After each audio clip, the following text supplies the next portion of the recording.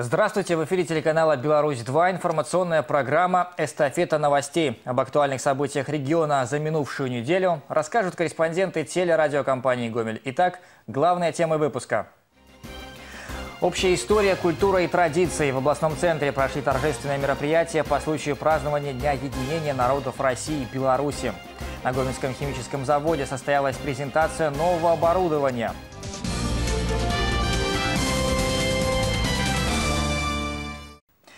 Делегация Брянской области приняла участие в мероприятиях, посвященных Дню единения народов Беларуси и России, которые состоялись в Гомеле. На торжественное заседание и праздничный концерт пригласили представителей трудовых коллективов, учебных заведений, общественных организаций, ветеранов войны и труда. В свою очередь, делегация во главе с Гомельским отделением Белорусского фонда мира с миротворческим визитом побывала на Брянщине. Обо всем по порядку в сюжете наших корреспондентов. Девушки в национальных костюмах и традиционный славянский хлеб-соль. На границе Беларуси и России гостей из Брянской области встречают не только как деловых партнеров, а в первую очередь как дорогих друзей. Вообще тесные контакты между регионами начались в 1999 году, когда администрация Брянской области и Гомельский облсполком подписали соглашение о торгово-экономическом приграничном сотрудничестве. Кроме того, сегодня заключено 9 договоренностей о побратимских и партнерских связях между отдельными районами. Вместе с Московской областью и городом Москвой Брянщина является крупнейшим партнером регионам Гомельской области в экономической сфере. Правда, в течение двух последних лет товарооборот между регионами начал сокращаться. Но, как убеждены обе стороны, эта тенденция изменится в самое ближайшее время. Мы с вами по сельмашу только выходим на полторы тысячи комбайнов в год. Э, сегодня легкая промышленность на Брянщине уже получила хороший размах. Ваша пищевая промышленность э, большой ассортимент товаров поставляет на Брянщину. Я думаю, что вот с приходом нового губернатора Александра Васильевича Багамаза мы в ближайшее время подпишем соглашение между Брянской и Гомельской областью и будем развивать наше сотрудничество. В истории наших стран много общего. Белорусы строили в России Байкало-Амурскую магистраль, занимались освоением нефтяных месторождений. В этой стране сейчас много населенных пунктов, большинство жителей которых этнические белорусы. В свою очередь, Беларусь стала второй родиной для тысяч россиян, которые помогали нашей стране строить современные заводы. Еще раньше наши народы вместе боролись с оккупантами за общую победу и общую родину. В этом году об этом вспоминают особенно часто. Многие акции, приуроченные к 70-летию Великой Победы пройдут по территории обеих стран. Мы проводим акции по автопробегам, конным пробегам, которые проходят через Республику Беларусь. Есть э, автопробег, который э, продлится до самого Берлина. Вот. Э, также у нас передача «Знамени Победы», которая также пройдет у вас здесь, на вашей земле.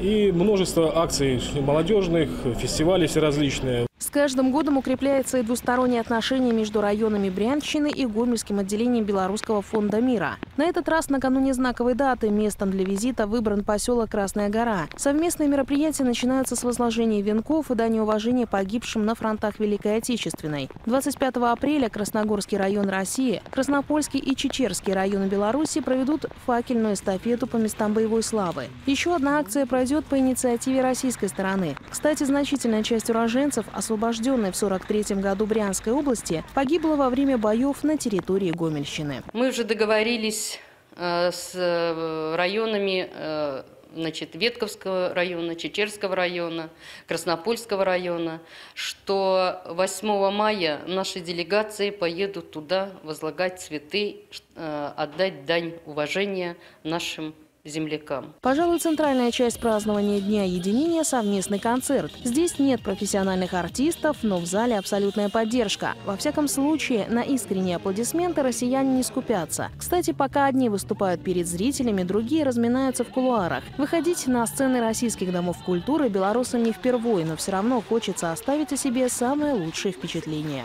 В рамках единения народов Беларуси и России наши дружеские связи с Красногорским районом, Гордеевским и Брянской областью процветают процветают, и мы постоянно обмениваемся творческими концертами и встречами на наших землях. Во время пребывания на Брянщине представители обеих делегаций констатируют, сегодня для взаимовыгодного сотрудничества не существует никаких препятствий. Тем более, что и граница между Беларусью и Россией в значительной степени условная. Для жителей приграничных районов это вообще больше граница, которая разделяет сельхозугодья. Однако и здесь при необходимости стороны всегда помогают друг другу, плюс всегда стараются перенимать то лучшее, что есть у соседей.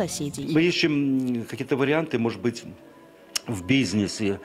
Э, у них более активнее он развивается, бизнес индивидуальные предприятия, малые предприятия а, а, образовываются, предприятия с различной формой собственности. Мы учимся и в этом плане у наших друзей в Красногорском районе.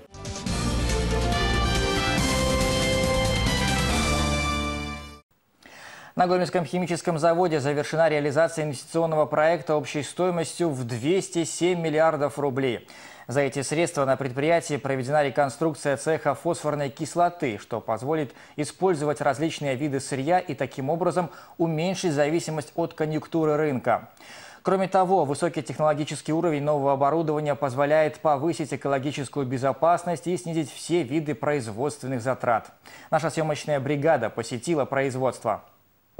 Сегодня Гомельский химический завод – одно из ведущих предприятий нефтехимической отрасли Беларуси и крупнейшее в стране, где производят минеральные удобрения с содержанием фосфора. Для того, чтобы обеспечить возможность стабильной работы в условиях нестабильного рынка, здесь не только внимательно изучают новые технологии, но и постоянно ведут модернизацию производства. Только в этом пятилетии на реализацию инвестиционной программы планируется направить около 80 миллионов долларов. Можем производить фосфорные удобрения – с различных, э, даже низкосортных источников фосфатного сырья. При этом э, что мы достигаем? Увеличение производительности порядка в полтора раза, э, соответственно, и увеличение выпуска конечного продукта, фосфорных минеральных удобрений в полтора раза.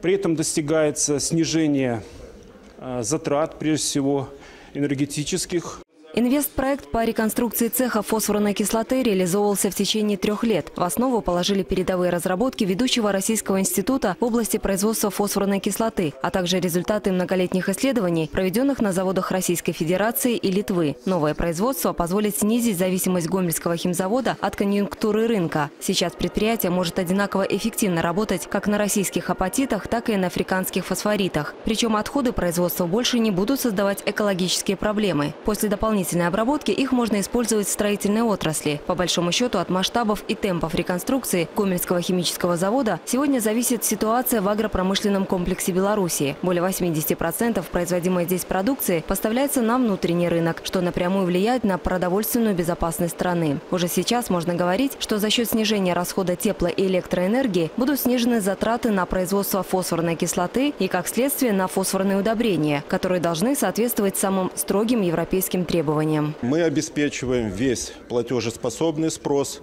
но главный ориентир завода – это, конечно, производство продукции, которая 100% может быть востребована на рынках дальнего зарубежья. И в данном случае это, наверное, главный сегодня ориентир.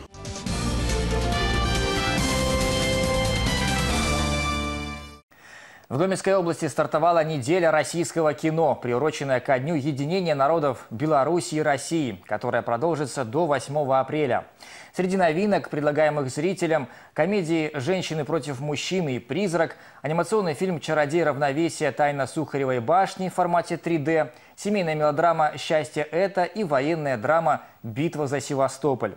К слову, именно этот фильм открыл и заключительный этап областного кинофестиваля «70 лет без войны». Примерный показ ленты состоялся в Гомельском кинотеатре имени Калинина, на котором побывали и наши корреспонденты.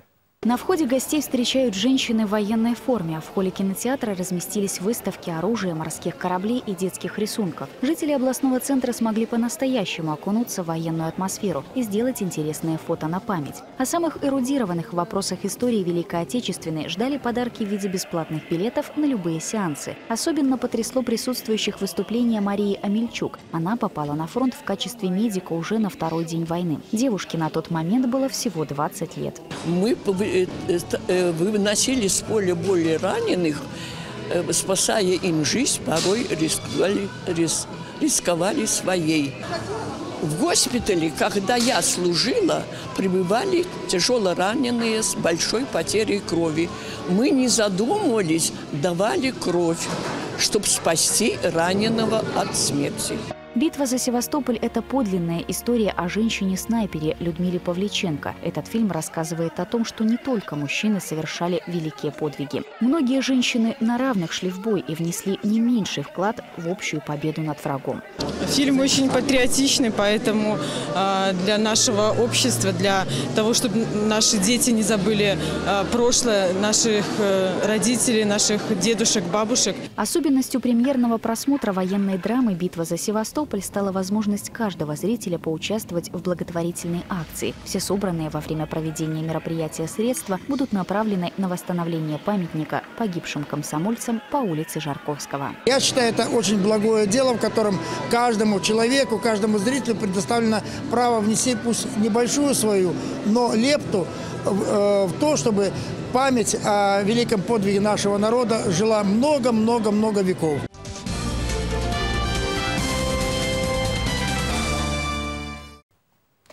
На этом наша программа завершена. Смотрите эстафету новостей по понедельникам в 7 утра на телеканале «Беларусь-2». С вами был Александр Гамоля. Всем хорошей недели. До встречи.